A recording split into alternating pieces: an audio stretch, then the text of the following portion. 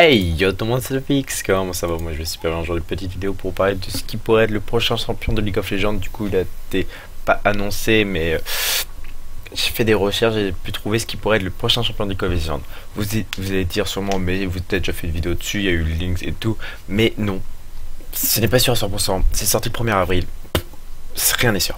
En gros, je vous explique. En gros, un Rioter récemment a confirmé que le nom du prochain champion lancé commencerait par un R.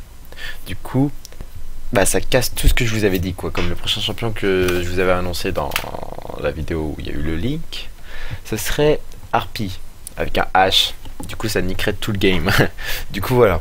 Et on a une image en plus, hein, depuis tout à l'heure vous la voyez derrière, du coup de cette personne en gros. Du coup il s'appelle Richard Allen. Et ça serait du coup un pirate euh, qui normalement serait mort et du coup qui, vive, qui viendrait des îles obscures. On n'a pas trop de d'informations sur son sujet. Hein. On sait juste qu'il s'appellerait Richard Allen. Ce n'est pas sûr à 100%, comme je vous le redis encore une fois, ce n'est pas sûr à 100%. Et il fait beaucoup penser à Kaista, hein. comme euh, le bleu clair, euh, une personne morte encore. Du coup, une personne ressemblant beaucoup à Kaista.